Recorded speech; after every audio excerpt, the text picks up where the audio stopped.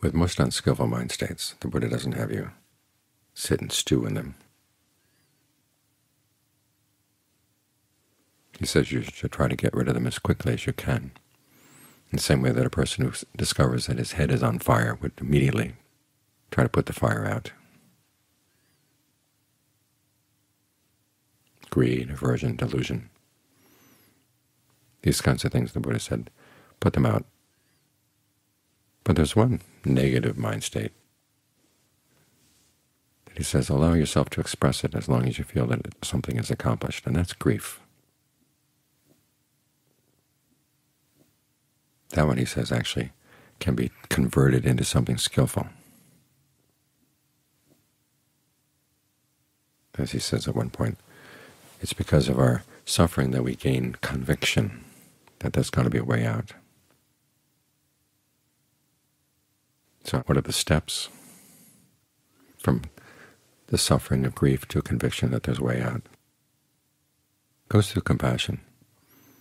There's a case when King Pasenadi came to visit the, the, Buddha. While he was talking with the Buddha, one of his courtiers came up and whispered in his ear that Malika, his favorite queen, had passed away. Pasenadi immediately broke down, cried. And the Buddha's first comment was, since when has there ever been a person who's born has, hasn't died? The point being that this is not the universe dumping on Pasenadi.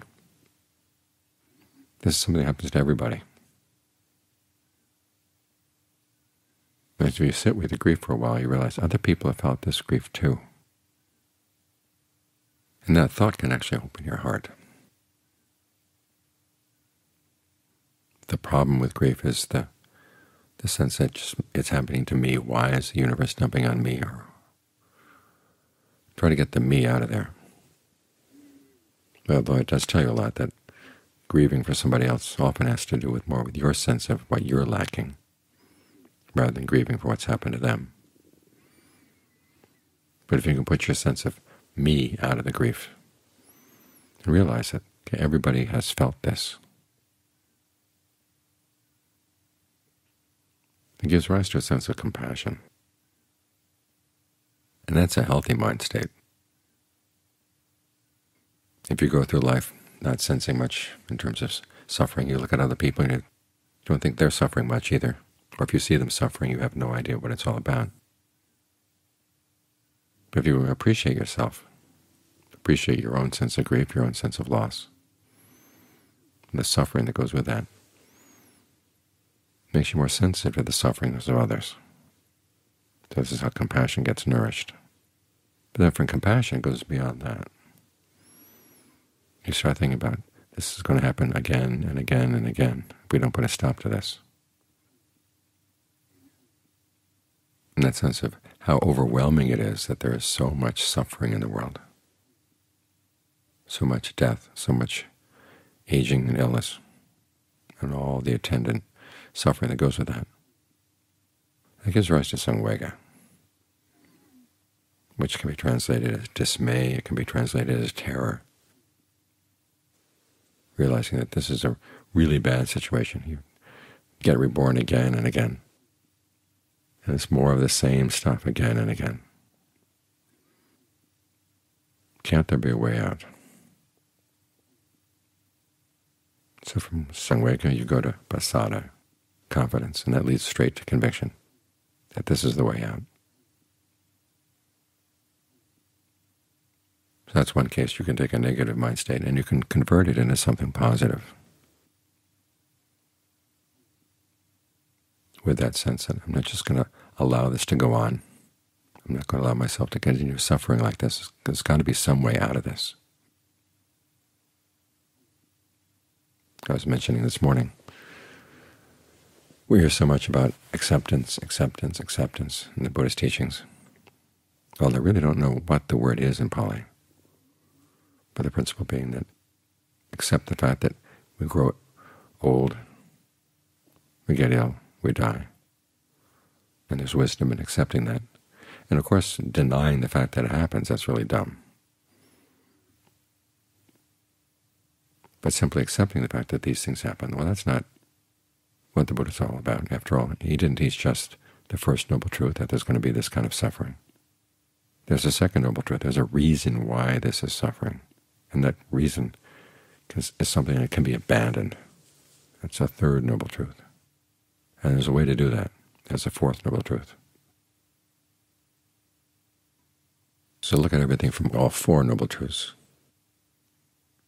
There is suffering, but there's a way out. And you think about how defiant the Buddha was, actually. He didn't just accept aging, illness, and death. His immediate thought was, there's got to be a way out of this. If there's anything noble in life, it's, it's the search for what doesn't age, what doesn't grow ill, what doesn't die. That's why he left home, to find that. And that's making a huge demand. In other words, a suffering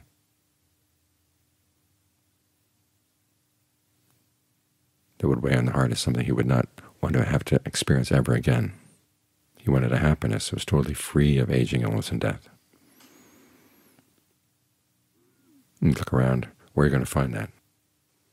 Well, as I said, he looked at the world and had a sense of dismay, a sense of samvega, seeing everybody laying claim to things, fighting one another and dying, like fish in a puddle that's drying up. No matter where he looked, there was some, something had already been laid claim to. If he was going to find his happiness in things outside, he was going to just fight people for it. And then he looked inside, and he realized that the problem was there, in the negative mind states that he was allowing himself to feed on. The big ones, of course, being craving and clinging. Was there some way to get past these? He realized he had to comprehend the clinging. Why is it that we hold on to things? Why is it that we feed off of things?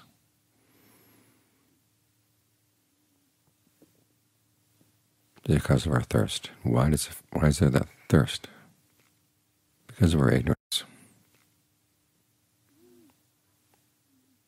Now, if there were no alternative, if there were not the deathless dimension, you'd say, well, what's the alternative? Since there is some pleasure to be found in following your cravings, why not go for that? Because for most people the idea of there being no craving at all is like death, annihilation. But the Buddha discovered that that was not the case. You follow the path to put an end to craving, and you actually find the ultimate happiness. So we're fortunate. It's as if the Buddha had already scouted the territory for us. Like reading of those scouts that were sent out to try to find a passage over the Rocky Mountains. They almost died because they didn't really know where they're going. It's the same with the Buddha. He almost died in his search for the deathless. But he pretty much mapped out the territory for us. It's up to, uh, it's up to us then simply to follow the path. It's been laid out, and it's a safe path.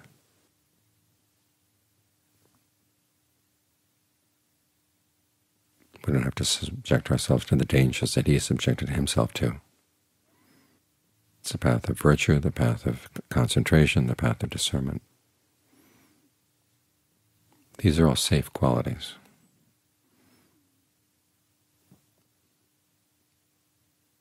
So find your safety here, because there's not only safety in these qualities, but there's also victory. That defiant attitude that the young prince had, that he's thinking there's got to be a way out of here. He was actually able to carry it through. And you look into your own heart, there must be something in there that says, I'd like a happiness that just doesn't die. The world tries to dump on that, saying it's impossible. Just learn how to accept things as they are.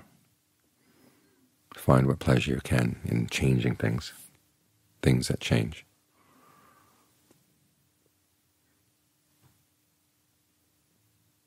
But the Buddha is saying, no, don't satisfy yourself there. There's got to be something better. There is something better. So always keep that in mind. As we get older, there is that tendency just to let things slide.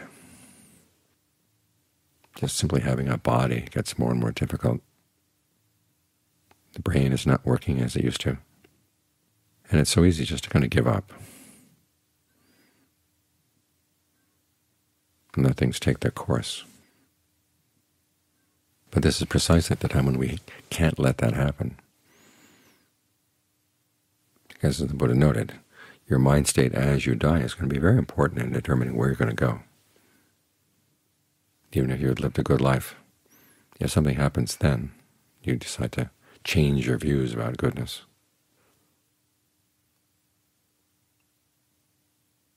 You could get in the way of those good actions giving fruit. So you've got to be on top of things. You've got to have that attitude that regardless of what the mind is doing, you're not going to give in to its unskillful moods. Something comes up, regret over the past, anger over the past, any of these things. You keep reminding yourself, you don't have to go there. It's if the mind opens doors to various directions. You look out, you look through the door and you realize, this is not going to go someplace good. You don't have to go there. Just stay with your awareness in the present moment. Use the breath as your anchor to stay here. And make it as comfortable as you can.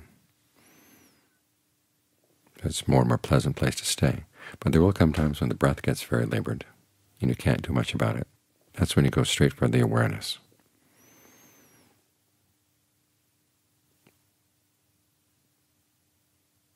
And that will save you a lot of grief. Just maintain that sense of knowing, knowing, knowing.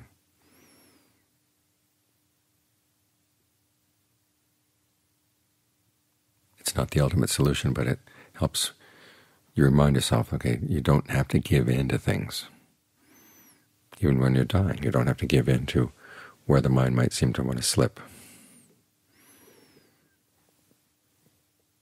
Try to keep your awareness, your alertness, your mindfulness, your ardency working even at that time, especially at that time. This is why we work on these three qualities, mindfulness, keeping what you know is good in mind, what you know is useful in mind,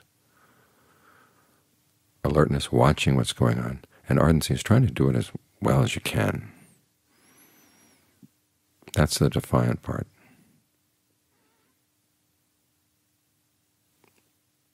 Because remember the Buddha's message, even though he had to undergo aging, illness, and death, he didn't have to suffer from them anymore.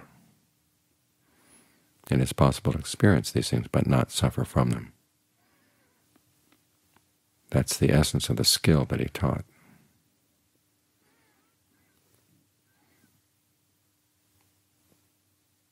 So for unskillful mind states that you can convert into something skillful, go ahead, convert them. The ones that you can't convert, just let them go. Even if they keep coming back, coming back, you have to remind yourself you don't have to go. No matter how insistent they are, you can be even more stubborn than they are.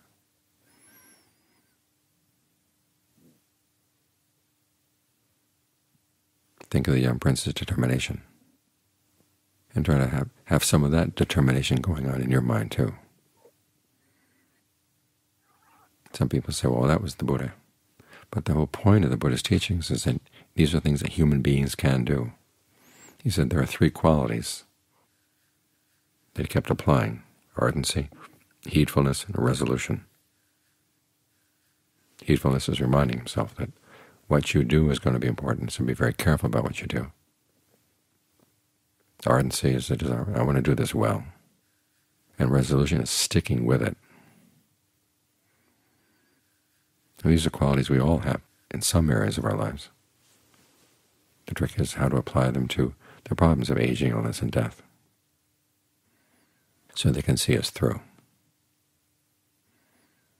That's what the practice is all about. That's what the skills of meditation are all about. You look at the range of people that the Buddha taught. A wide range of people from all different walks of life.